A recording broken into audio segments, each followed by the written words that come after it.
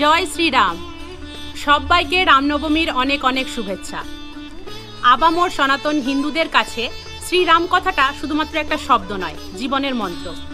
তাই সমগ্র সনাতনী হিন্দু তথা ভারতবাসীর কাছে আজকের এই রামনবমী তিথি যে একটি বিশেষ উৎসবে পরিণত হবে সেটাই স্বাভাবিক। আর এই বিশেষ দিন উপলক্ষে আজকে আমি তোমাদের নিয়ে যাব মুর্শিদাবাদ জেলার সব থেকে প্রাচীনতম রাম মন্দিরে। আমি এখন দাঁড়িয়ে আছি রঘুনাথগঞ্জ লালগোলা রোডে। আজকে দেশের বিভিন্ন জায়গায় বিভিন্ন অনুষ্ঠানের মধ্য দিয়ে রামনবমী পালন করা হচ্ছে। আমাদের রঘুনাথগঞ্জেও হচ্ছে শ্রী রামচন্দ্রের পুজো এবং হবে বিশাল শোভাযাত্রা। কিন্তু আমি এখন রঘুনাথগঞ্জ যাচ্ছি না। আমরা এখন যাচ্ছি লালগোলা। কারণ এই লালগোলাতেই রয়েছে মুর্শিদাবাদের সব থেকে পুরনো রাম মন্দির এবং রামের মূর্তি।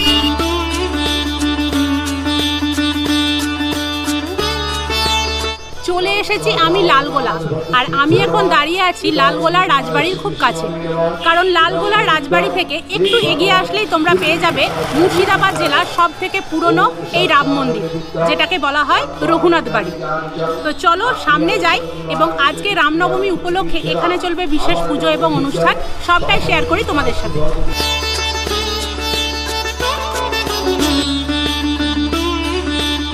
এই হচ্ছে সেই রঘুনাথ বাড়ি।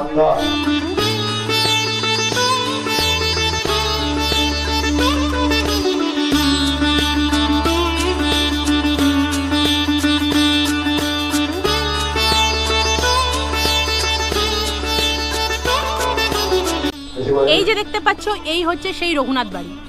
এবং বাসন্তী পূজার নবমী তিথিতে রামনবমী পালন করা হয়। সেই জন্য এই মন্দিরে শ্রী রামচন্দ্রের পুজোর সাথে সাথে করা হচ্ছে বাসন্তী পুজো। তো চলো প্রথমে মায়ের মূর্তি দর্শন করি।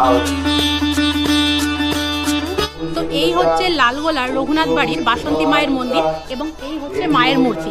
এখানে এখন মায়ের নবমী পুজো চলছে।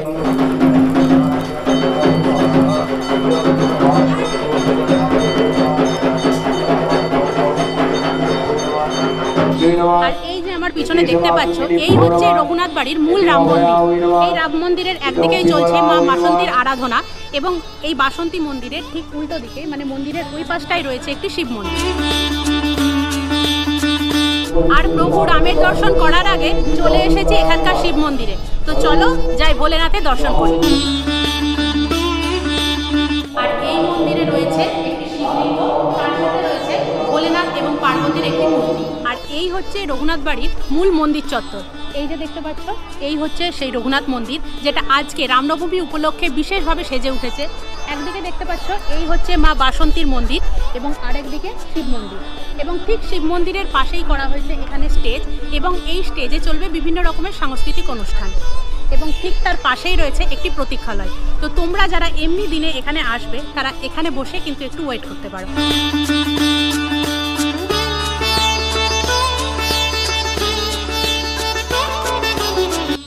এই যে দেখতে পাচ্ছ প্রতীক্ষালয়, প্রতীক্ষালয়ের ঠিক পাশেই এই জায়গাটায় অর্থাৎ মন্দির ঢোকার মুখে, ডান দিকেই তোমরা দেখতে পেয়ে যাবে প্রভু রামচন্দ্রের এই বিশাল মূর্তিটি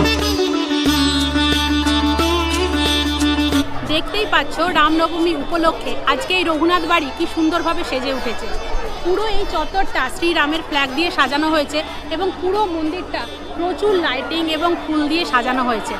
তো চলো, আজকে আমরা যে এসেছি, এখানকার মূল আকর্ষণ, সেই বহু প্রাচীন প্রভু রামচন্দ্রের বিগ্রহ, সেটা দর্শন করি।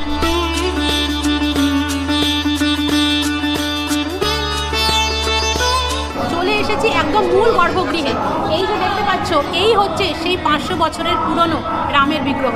রয়েছেন সীতা মাতা অনুজ লক্ষণ এবং ভক্ত হনুমান। এবং নিচে রয়েছে বেশ কিছু শালগ্রাম শিলা এবং বেশ কিছু দেবদেবীর মূর্তি এবং এই বিগ্রহগুলি সম্পূর্ণ চন্দন কাঠের।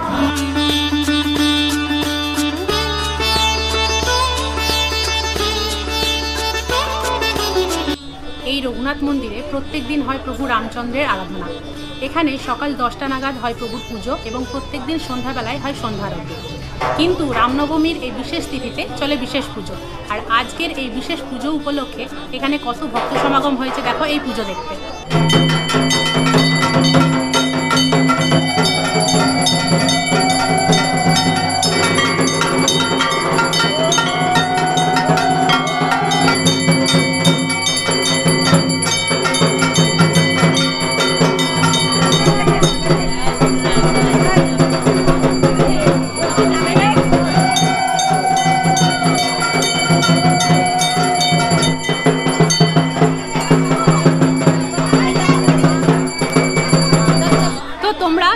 দর্শন করলে নিশ্চয়ই ভালোভাবে এই বিগ্রহ প্রায় পাঁচশো বছরের পুরনো বিগ্রহ এবং এই বিগ্রহ সম্পূর্ণ চন্দন কাঠের। এই বিগ্রহে তোমরা দেখতে পেলে রাম, সীতা অনুজ লক্ষণ এবং ভক্ত হনুমান। তার সাথে রয়েছে আরও বেশ কিছু শালগ্রাম শিলা এবং আরও কিছু দেবদেবীর মূর্তি। এই যে রঘুনাথ বাড়ির রাম মন্দিরটা দেখতে পাচ্ছ, বাইরে থেকে দেখলে এটাকে সচরাচর আমরা যেরকম মন্দির দেখি সেরকম মনে হবে না। এটি দেখতে অনেকটা বাড়ির মতো, কিন্তু ভেতরে আসলে তোমরা দেখতে পাবে সেই পুরনো রাম বিগ্রহ।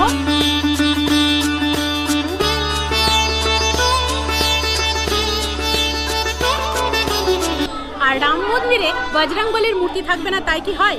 তাই এই মন্দিরে ঢোকার মুখে দুই দিকেই দেখতে পাবে বজরংবলির মূর্তি।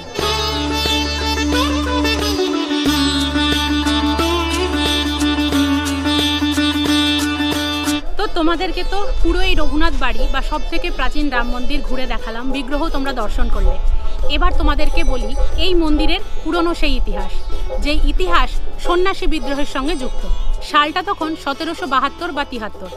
সারা বাংলা জুড়ে চলছিল সন্ন্যাসী আন্দোলন। এবং সেই সন্ন্যাসী আন্দোলনে যোগ দেওয়ার জন্য বেশ কিছু সন্ন্যাসী দিনাজপুরের কাঞ্চনতলা থেকে লালগোলার এই পথ ধরে যাচ্ছিলেন। সেই সময় তাদের সাথে ছিল এই রাম সীতা লক্ষণের বিগ্রহ। তার সাথে ছিল বেশ কিছু শালগ্রাম শিলা এবং পেতলের রাধাকৃষ্ণের মূর্তি এবং ছিল বেশ কিছু দেবোত্তর সম্পত্তি। সেই সময় এই লালগোলার রাজা ছিলেন নীলকণ্ঠ রায়।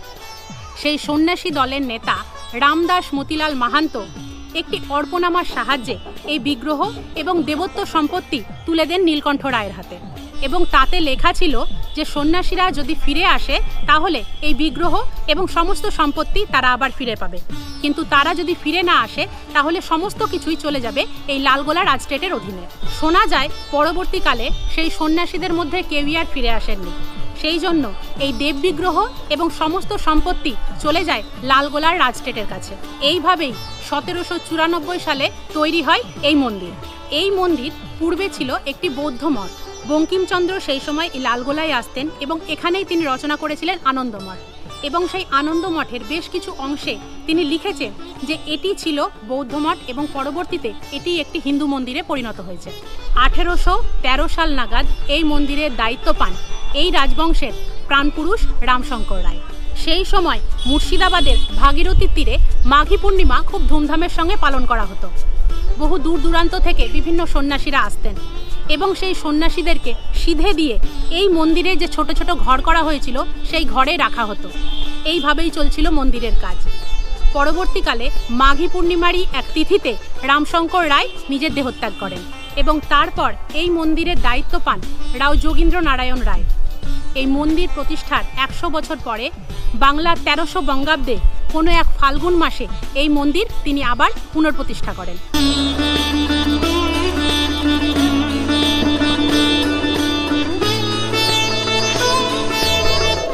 তোমরা দেখতেই পাচ্ছ আজকে রামনবমী উপলক্ষে এই রঘুনাথ বাড়িতে কত আড়ম্বরের সঙ্গে পুজো অর্চনা হচ্ছে। এবং এই অনুষ্ঠান আজকে সারা দিন ধরে চলবে।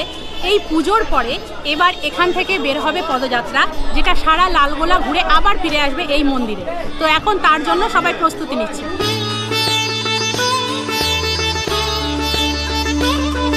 এখানে দেখো, এখানে একটি গাড়িকে এরকম ফুল দিয়ে সাজানো হচ্ছে এবং এখানে প্রভু রামের কোনো একটি মূর্তি বসানো হবে এবং সেইভাবেই র্যালি এগিয়ে যাবে এবং এখানে থাকবে বেশ কিছু ঢাকির দল। তো এখানে তারাও আসতে শুরু করেছে।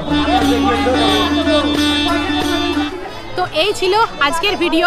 ভিডিওটা তোমাদের কেমন লাগল অবশ্যই জানিও। যদি ভালো লাগে তাহলে লাইক করো আর প্রচুর পরিমাণে শেয়ার করো। আর সবাইকে বারবার রিকোয়েস্ট করব এত পুরনো এই রাম মন্দির এবং এই রাম বিগ্রহ অবশ্যই সবাই দর্শন করে যেও। সবাই খুব ভালো থেকো, সুস্থ থেকো, আনন্দে থেকো, আমার পাশে থেকো আর অবশ্যই শখে থেকো। খুব তাড়াতাড়ি দেখা হচ্ছে তোমাদের সাথে আবার নতুন কোনো ব্লগে আজকের মতো জয় শ্রীরাম।